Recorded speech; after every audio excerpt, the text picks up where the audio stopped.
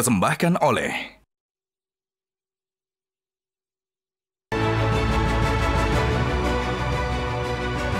Selamat malam para pemirsa, ketemu lagi di Hot Room dengan saya, Hotman Paris. No viral, no justice. Itulah sekarang dipakai rakyat sebagai slogan perlawanan ketidakadilan.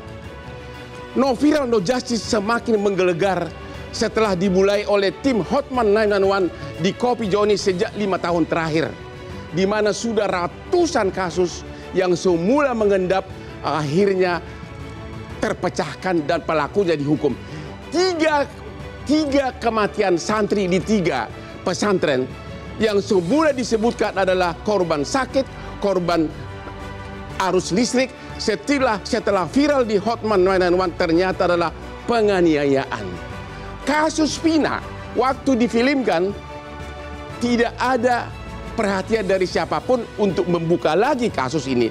Tapi setelah Hotman mengundang setelah tanda tangan surat kuasa dari keluarga Vina, langsung mulailah dilakukan penyidikan ulang dan akhirnya sekarang ada tersangka satu. Ternyata no viral no justice sekarang bukan hanya dalam hukum pidana, tapi juga sudah juga non hukum dipakai oleh rakyat sebagai cara untuk melawan. UKT, uang kuliah tunggal, yang semula sudah diumumkan akan naik, tapi setelah viral langsung UKT-nya dihentikan. Ada lagi yang terbaru, Tapera, tabungan perumahan rakyat. Halo para karyawan, kamu gaji kamu akan dipotong 3% tiap bulan. Kalau gaji kamu katanya untuk perumahan, kalau gaji kamu 3 5 juta sebulan, berarti cuma 125 juta eh 125 ribu sebulan. Kali setahun paling satu setengah juta. Kalau kamu kerja 25 tahun, paling-paling terkumpul 30 juta. Emang 30 juta cukup untuk membeli perumahan, itu akan menjadi viral sebentar lagi. Inilah Hot Room. No viral, no justice.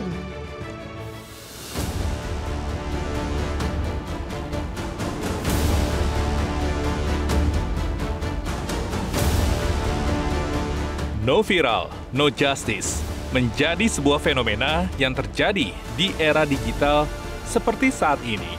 Fenomena ini tercermin pada kasus-kasus yang nampaknya tak diurus, baik kasus hukum hingga pelanggaran sosial yang seharusnya menjadi perhatian aparat penegak hukum. Media sosial kerap kali menjadi alat bagi masyarakat untuk memperjuangkan keadilan. Penting diakui bahwa viralitas mampu mempercepat sebuah respon keadilan serta transparansi dari proses keadilan tersebut.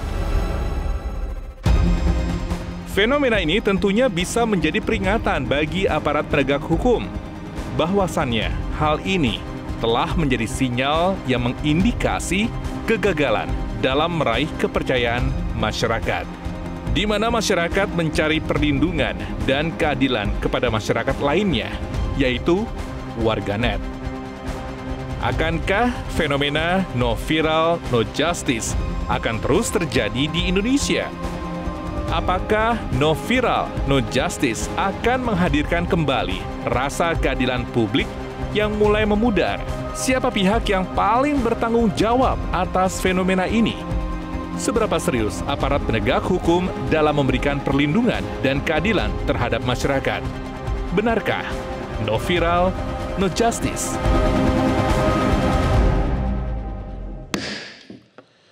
Para pemirsa, sebelum Hotman Paris memviralkan sesuatu, saya sering minum kopi, kopi luwak hitam premium Sintayong ini. Waktu seorang wanita muda jatuh dari lift di bandara Kuala Namu Medan, tiga hari mayatnya di bawah lift nggak ada yang tahu. Saya waktu itu ragu-ragu memviralkan. Tapi saraf saya mulai bergigi setelah saya minum kopi luwak hitam premium. Sintayong.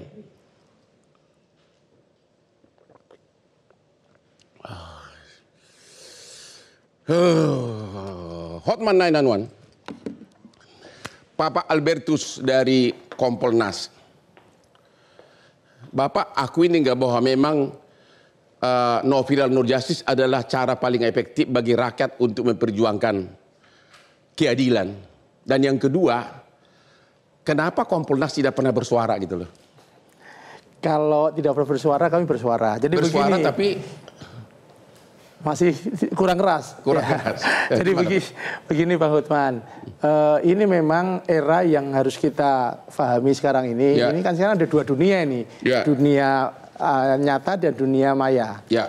Dan itu bisa jadi berkah, bisa juga jadi eh, apa masalah. Ya. Nah, kalau kita bicara soal no viral no justice, eh, berarti memang ada sesuatu kebuntuan yang selama ini menjadi problem dan kebetulan ini ada solusinya. Ya. Nah, artinya memang ini kita harus introspeksi. Tetapi kalau dalam pandangan Komponas, tidak semua yang viral itu harus eh, benar, maka walaupun itu menjadi salah satu solusi, tetap yang namanya pembuktian, jalur hukum, lalu barang bukti itu nggak boleh dikesampingkan. Kalau begitu saya langsung tanya kasus Pak. Ya. Kasus Vina ini sudah menjadi viral ya. Sesudah difilmkan Ya. ya. Dan Kompolnas diam saja. Itu benar nggak? Nggak ada komen apa pun kan? Kami komen. Sebentar dulu. Ya. Nggak, itu belakangan ini. Ya. Tapi dulu-dulu tidak ada komentar. Oke. Kemudian setelah Hotman 911 uh, menandatangani surat kuasa dengan keluarga Vina, barulah heboh semuanya. Dan kemudian penyidik Polda Jabar mengatakan dua pelakunya adalah fiktif DPO-nya. Tapi kenapa Kompolnas justru mengatakan seolah-olah masih ada pelakunya padahal penyidik sudah mengatakan fiktif. Kalau sudah fiktif berarti no case. Tapi di Kompolnas di dalam apa itu dia punya medsos jelas-jelas ditulis enggak masih ada kok pelakunya. Ada apa Pak dengan Kompolnas ini? Begini, kami kan harus melihat persoalan secara kritis. Ya. Secara kritis, secara komprehensif. Ya. Ketika kami lihat diurut dari depan, saya kira Bang Hutmat uh, persis karena pihaknya. Tetapi begitu ada kami diskusi dengan eh, pihak Polda, Ya. eh, memang eh, se- eh, penjelasan dari Polda satu itu jelas, tapi yang dua ini nggak ada orangnya. Hanya dalam pandangan kami eh, harus ada kejelian, harus ada keseriusan lagi untuk lebih menggali. Jadi jangan jangan langsung kemudian mengambil kesimpulan seperti itu. Itulah kemudian kami sarankan sampai sampai nanti ke proses eh, apa eh, ke, ke penuntutan kemudian ke pengadilan terus langsung di usah dicari terus saya, sehingga saya, saya mau tanya, apa yang mau dituntut kalau memang eh, tersangkanya fiktif nggak ada orangnya? Apa yang mau dituntut Pak? Berarti kan no baru, case. Baru statement. Kita kan belum belum belum ada eh, pembuktian Hmm. yang benar bahwa bahwa form fiktif itu yang saya kira harus harus menjadi pegangan dulu. Ya. Ketika nanti form fiktif nggak nggak ada lagi yang bisa dibuktikan, oke ditutup. Tapi ketika masih ada peluang ya harus kita kita gali terus, Bang. Pak, saya nggak bisa ngerti kalau pelaku fiktif apa yang mau digali Pak? Maksudnya ini kan statement fiktif ini Ya. itu kan belum firm dipastikan secara yuridis ya. biar Bapak, karena saya kuasa hukum Vina, yang saya dengar adalah begini. Ya. Peggy jadi tersangka, enam dari terpidana sudah di BAP Ya. dalam dua minggu terakhir ini. Lima dari terpidana ini mengatakan bukan Peggy pelakunya, Ya. satu mengatakan iya, berarti lima lawan satu. Ya. Tapi Peggy tetap jadi tersangka. Oke, saya dengar lagi tujuh terpidana ini sudah di BAP juga terhadap dua DPO dan semua menyatakan mereka fiktif. Ya. Padahal di BAP awal di surat tuntutan, di fakta persidangan, bahkan di putusan hakim yang sudah berkekuatan hukum tetap disebutkan ada tiga DPO. Semua tersangka, semua ter- terdakwa mengakui di persidangan. Apakah Kompolnas membaca itu berkas perkara? Kami baca, kami ikuti semua. Ya. Hanya kami berpandangan tidak semudah itu mengambil kesimpulan. Itulah kemudian kami memberikan eh, saran agar didalami lagi. Agar di dalam Kalau gitu Pak Suhanda Nainggolan. Jadi gimana ini prinsip no viral no justice ini? Apakah memang itu adalah cara efektif sekarang untuk perlawanan rakyat memperjuangkan hak baik hukum dan non hukum?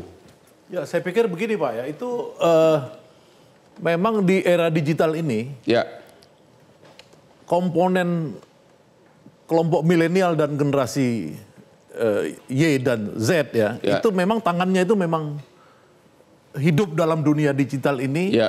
menjadi suatu bagian dari namanya disebut digital solidarity. ya, Misalkan ketika film Vina kemarin sudah Ya. tembus hampir 6 juta, ya, itu sebenarnya sudah ada solidari- solidaritinya. benar. bahwa kemudian ada aktor ya dalam teori kan selalu ada, harus ada aktor Ya. pemicunya itu namanya Pak Hotman Paris. Ya. Ketika masuk aktor itu itu bergerak tuh jutaan orang itu. Benar. Sehingga apa? Sehingga tuntutan ketidakadilan itu harus direspon oleh institusi yang Ya. yang harus merespon. Memang ini gejala yang sekarang sedang hangat terjadi karena apa? Karena memang masyarakat kita ini sudah melihat sistem hukum kita itu runtuh, Pak. Sistem hukum kita itu runtuh. Runtuh, Oke. runtuh. Karena kita bisa melihat misalkan yang terakhir ini misalkan antara aparatur kepolisian dengan kejaksaan petingginya dibongkar di media misalkan perang secara terbuka. Ya. Itu kan sebenarnya membuat rakyat ini bilang wah ini betul-betul institusi hukum atau bukan seperti Ya. itu misalkan. Makanya memang betul no viral no justice itu adalah gerakan rakyat supaya diperhatikan. Dan itu luar biasa karena ada Pak Hotmannya sendiri yang menjadi aktor.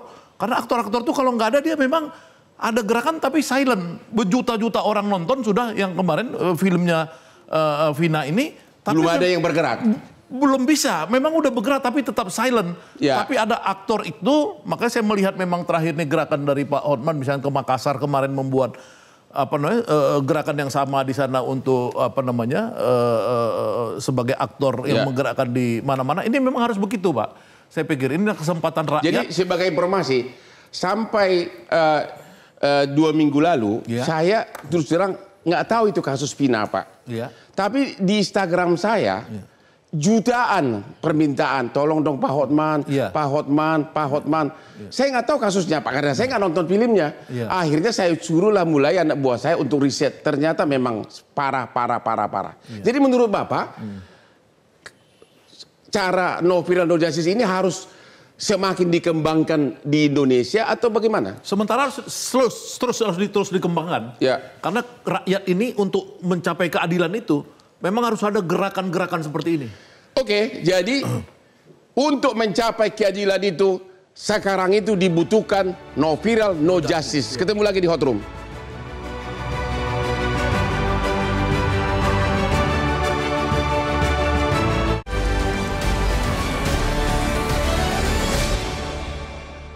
Dipersembahkan oleh